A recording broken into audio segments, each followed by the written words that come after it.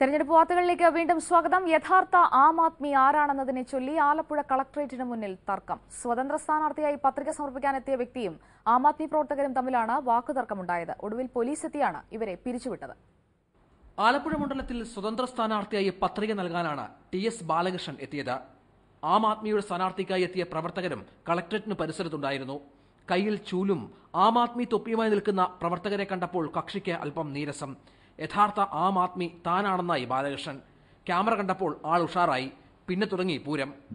തൊപ്പി നിലയിൽ വെച്ചിട്ട് നിങ്ങൾ ആം ആദ്മിയാണെന്ന് പറഞ്ഞാൽ ബാലകൃഷ്ണ പോലുള്ള ആളുകൾ സമ്മതിച്ചേരില്ല. കാരണം എന്താണെന്നറിയാമോ? ബാലകൃഷ്ണ പോലുള്ള ആളുകളാണ് ആം ആദ്മി. പാവപ്പെട്ടവന് വേണ്ടി പ്രവർത്തിക്കണം വർഷങ്ങളായി.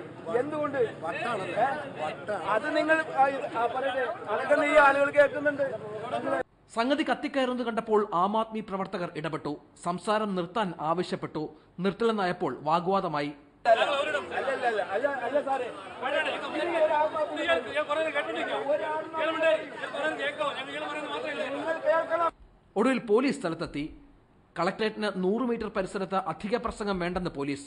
ഒടുവിൽ ആം ആദ്മിക്കാരും സ്വതന്ത്രനും കളക്ടറേറ്റിന് പുറത്ത് നോമിനേഷൻ നൽകാൻ സമയത്ത് മാത്രം അകത്ത് കയറിയാൽ മതിയെന്നും നിർദ്ദേശം. രഞ്ജിത് രാമേന്ദ്രൻ ഏഷ്യാനെറ്റ് ന്യൂസ് ആലപ്പുഴ.